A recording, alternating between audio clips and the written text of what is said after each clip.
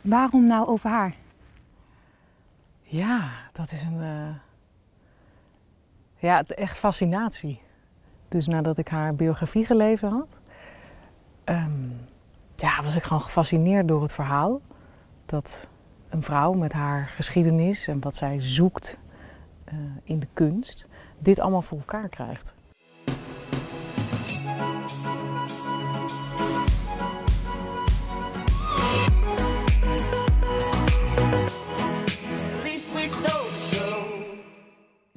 Het Krullenmuller Museum kennen we allemaal. Maar wat weten we eigenlijk van de oprichter Helene Krullenmuller? Het museum gaf actrice Julika Marijn een kist met ruim 3000 brieven die zij schreef aan haar zielsverwant Sam. En zij maakte daar uiteindelijk de voorstelling Uit Verdriet geboren van. Verder gaat Pieter ook weer voor ons op pad en hij is deze week in Culemborg. En Rolling Stones fan Robin Scherrenburg, die kijkt uit naar de komst van zijn band naar Arnhem dit weekend. Maar nu eerst naar het Nationaal Park de Hoge Veluwe. De komende tijd is in het theater een bijzondere voorstelling te zien over Helene Kruller-Muller. Het is de vrouw achter het museum, hier achter mij, het Kruller-Muller Museum in Nationaal Park de Hoge Veluwe. En het is gemaakt en het wordt gespeeld door actrice Julika Marijn. En ik ontmoet haar vandaag hier in het park en ze neemt me mee naar een bijzondere plek waar normaal niemand komt.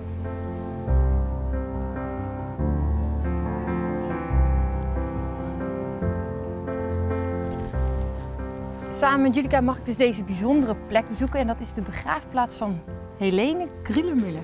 Zeg ik het goed? Ja? Helene Krullermuller. Ja. En Ben staat er op ons te wachten, want er is een sleutel nodig. Hi Ben. Dankjewel. Alsjeblieft. Dit museum is uit verdriet geboren. Als een dankbare bloem is ze eruit opgebloeid. Dit verdriet heet Helene. Het heeft ervoor gezorgd dat ik mij losrukte van alles waar ik tot dan toe voor had geleefd.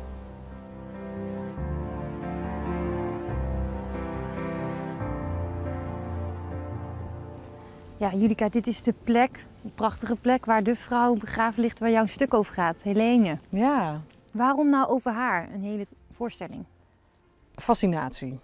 Ja, fascinatie nadat ik de biografie had gelezen. Ehm, dat een vrouw in die tijd eigenlijk een, eh, een zoektocht heeft naar, ja, naar iets hogers. Dat is wat ik er heel erg uithaalde. En dat hogere vindt in de kunsten.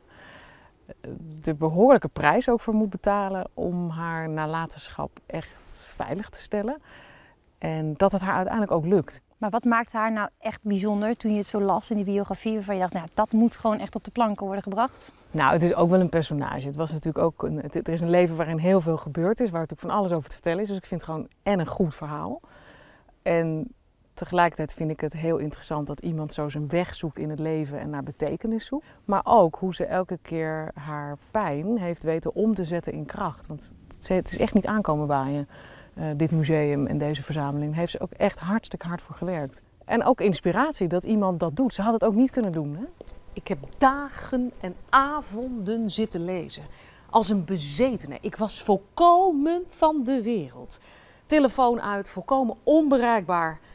Maar ik moet wel zeggen, Helene is niet echt de uitvinder van de page turner. Je bedenkt het inderdaad om een stuk over haar te maken en daardoor kom je dus heel dicht bij haar. Ja. Bij het graf waar normaal mensen niet komen, maar ook de brieven. Ja, Hoe was dat om dat te lezen? ja bijzonder. Ik, eh, ik voelde me af en toe een beetje een voyeur. Want het is natuurlijk een privé, privébrieven aan iemand van wie je houdt.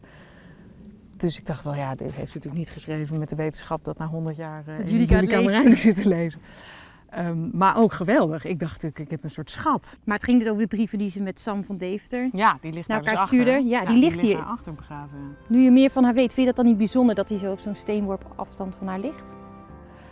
Nou, nou, het is natuurlijk een heel vreemde situatie eigenlijk. Wie ligt er nou met z'n drieën begraven?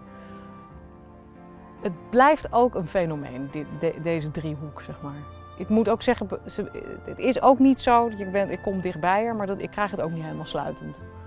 Hoe, wat nou waar, hoe het precies gegaan is.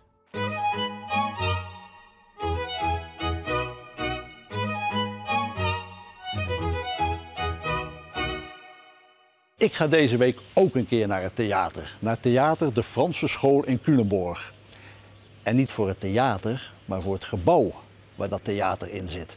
Want dat is niet een spiksplinternieuw gebouw speciaal voor het theater gebouwd. Nee, dat is een gebouw met historie.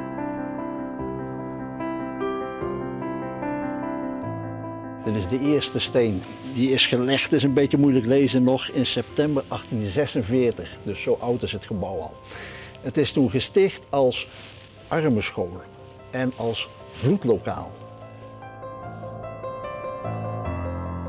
Je denkt misschien dat dit een raam is of zo. Het zit op ah, 2,5 meter hoogte. Maar dit is eigenlijk de deur van het vloedlokaal. Hier zaten mensen veilig als het water van de lek kwam. Als de stad overstroomde. Je ziet het in een land hè, van water zoals we zijn. Je kunt je beschermen via dijken, dammen, hoger gelegen delen of door vloedschuren. Je ziet ze overal, daar kon het vee veilig staan als het water kwam. Of vloedzolders, daar kon het eten op.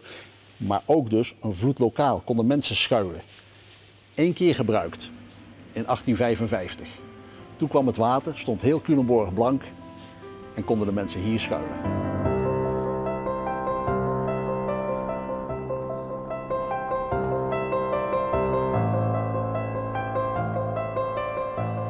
Dit gebouw was een armenschool. In de tijd dat er geen leerplicht was, vond het gemeentebestuur van Culemborg toch dat er een school moest komen voor de arme jeugd. In de zomer kwamen er niet zoveel kinderen. In de winter zo'n 200 op twee leraren. Nou, die raakten ook overspannen. En in de zomer kwam er bijna niemand, want er moest de jeugd meehelpen op het land.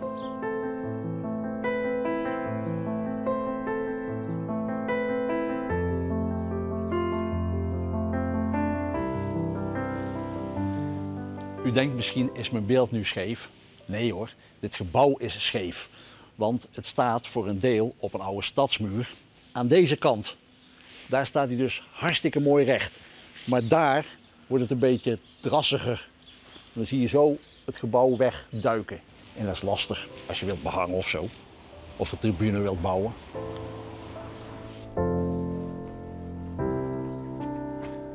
Ik ga me even Esther voelen in het theater.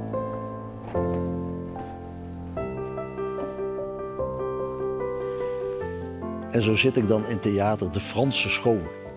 Franse school?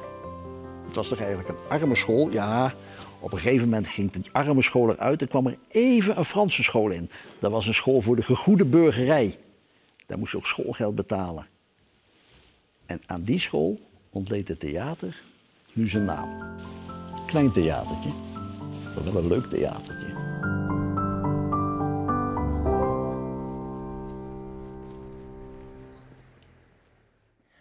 Zondag is het zover, dan treden de Rolling Stones op in het Gelredome in Arnhem. Voor Robin Scherrenburg, de voorzitter van de Nederlandse fanclub van de band, is dit dus het weekend. Om al een beetje in de sfeer te komen, maakte hij samen met zijn plaatselijke bakker echte Rolling Stones tongpoezen. Hallo. Goedemorgen. Uh, ja, ik kom eigenlijk voor tongpoezen. Tongpoezen, hebben we inderdaad binnen. Ja? Lopen ze een beetje, die uh, tongpoezen? Ja, ja, ja. De tong zelf is van de Tour, hè? dat is de No Filter Tour. Dus dat, uh, daar, daar heb ik niets aan gedaan. Maar Bridges to Arnhem heb ik zelf bedacht. Ze hadden een album dat heet Bridges to Babylon. En ik dacht, ja, wat maakt Arnhem nou zo bijzonder? Dat zijn toch onze bruggen. Hè? Nou ja, hoe ik fan ben geworden en wanneer. Eigenlijk, uh, ja, ik was nog heel jong, ik praat over 1970. Toen heeft mijn broer mij meegenomen naar een platenzaak en uh, die zei, ga jij maar wat een plaatje uitzoeken, dan ga ik even iets anders doen. En toen kwam ik iets tegen wat ik toch heel bijzonder vond. Dat was namelijk een hoes bestaande uit een spijkerbroek, en een rits erin. En dat hadden we toen nog nooit gezien, want je zag alleen maar hoe ze met uh, fotootjes met, uh, met de hoofden van de bandleden erop. En om die reden heb ik dat album gekocht en ik wist niet eens wat het was. En dat bleek uh, Sticky Fingers te van Rolling Stones, wat tot op heden nog steeds mijn favoriet, meest favoriete album van de Stones is. dan gaat die rits weer dicht. Nou, dit zijn alle LP's, maar ik heb hier nog heel veel meer hoor. Alleen maar Rolling Stones. En het begin van het begin en het eindigt met het einde. Het begin is bijvoorbeeld dit. Thank You Lucky Stars. Is het eerste album waarop de Stones ooit hebben meegedaan. In 1995 heb ik het euvele uh, plan opgenomen om mijn vrouw een keer eens mee te nemen naar de Rolling Stones.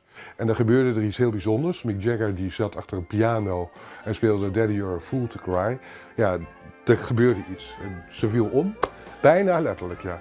Ze was echt in één keer helemaal vertrokken. En sindsdien is zij de allergrootste fan en heeft ze mij weer meegesleept daarin. En ja, zijn we samen natuurlijk hele grote Rolling Stones fans. Je merkt dat je contact krijgt met de heren op het podium. Dit is nou zo'n interactiemoment waarbij dit Mick Jagger is, duidelijk. En dit is de hand van mijn vrouw. En je ziet, ze raken elkaar net niet. Het doet een beetje denken aan de Michelangelo in de Sixtijnse kapel. Maar je ziet dus dat er al interactie is tussen mijn vrouw en Mick Jagger. Ja, en als dat eenmaal gaat gebeuren, ja, dan komt het alleen maar nog verder en eigenlijk van kwaad tot erger. Dag Wilma, Robin, Robin Scherburg voor de Lik Swing Uh, Wilma, eh, ik bedoel, als, mijn, als Mick Jagger mijn vrouw zou versieren en het zou een keertje fout gaan, dan is hij geloof ik de enige persoon in de wereld van wie ik dat zou accepteren.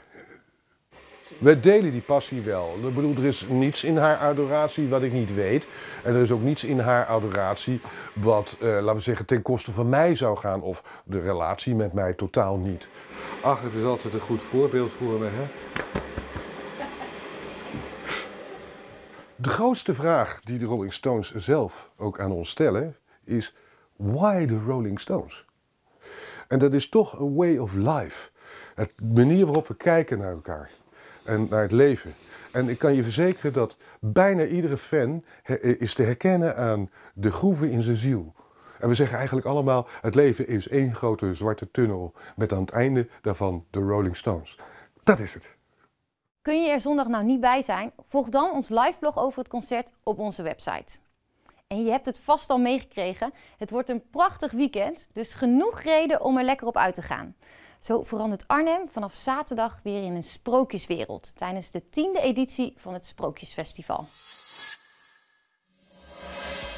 Negen dagen lang kun je verschillende dans, theater en muziekvoorstellingen zien. Voor het eerst zijn er ook voorstellingen voor ouderen. Dit hele weekend kun je ook in de wonderenwereld van de archeologie stappen tijdens de Nationale Archeologiedagen. Door de hele provincie zijn er verschillende activiteiten om te bezoeken. Zo kun je workshop volgen bij Museum Kasteel Wiegen en in het Flipje en Streekmuseum in Tiel. Ben je nu helemaal gek van hout? Ga dan zondag naar Zutphen, want in de Hansehal wordt er een kijk- en doedag gehouden voor liefhebbers van ambachtelijke houtbewerking. En de intree, die is gratis.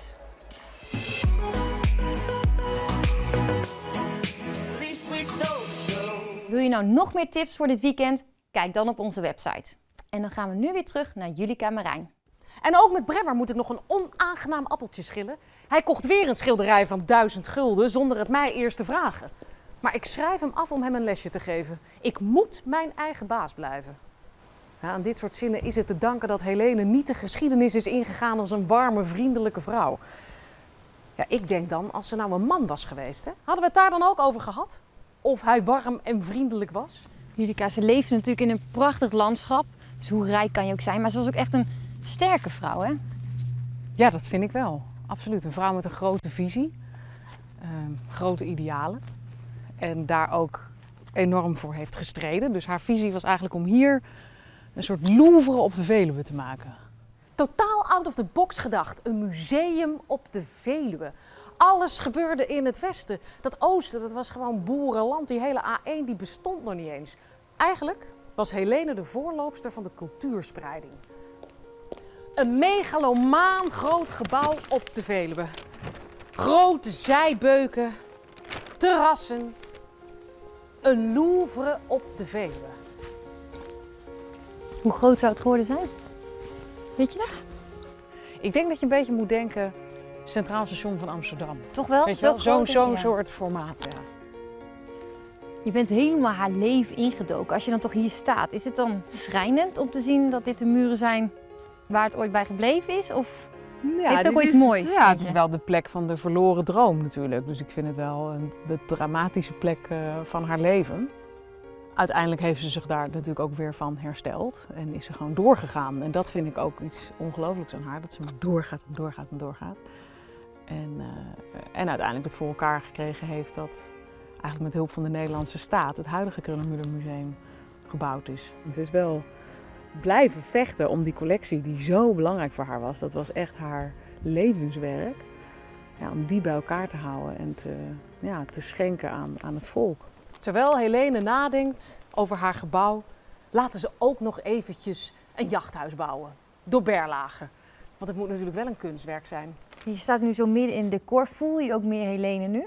Nou ja, dat, nee, dat is eigenlijk meer als ik schakel naar haar. Als ik transformeer naar haar in de voorstelling, dan weet ik natuurlijk precies wat ik moet doen, hoe ze praat, hoe ze kijkt. Maar in de show dan sta je er wel echt als haar. Ja, beide. Ja, dus ik speel mezelf eigenlijk, die hier in een atelier aan het werk is en die hier de brieven van uh, Helene heeft. En zich steeds verder in Helene verdiept en verdiept. En denkt, wie was die vrouw nou eigenlijk en wat dreef haar nou? En in dat onderzoek, dus de voorstelling is eigenlijk een onderzoek, speel ik haar ook en word ik haar ook. Zo zag ze eruit toen ze op haar negentiende trouwde met Anton Kruller. En zo'n jurk zou ik ook aankrijgen.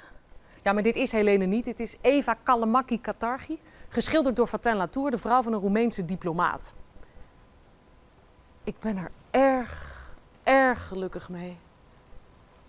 Wat zou hier nog bovenuit moeten komen? Denk je dat de mensen die jouw show hebben gezien nu ook straks anders naar het museum gaan kijken? Ja, dat denk ik zeker. Ja, hoorde ik al uh, van, van de week iemand die het gezien had. Die zei, oh, ik wil er echt wel heen. En uh, ja, het is me nooit zo opgevallen dat er zo'n verhaal achter zit. Ja.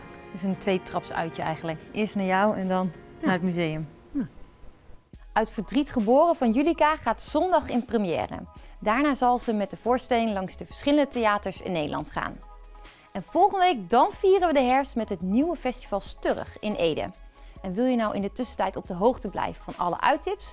Volg ons dan op Facebook, Uit in Gelderland. Ga er lekker op uit en een fijn weekend.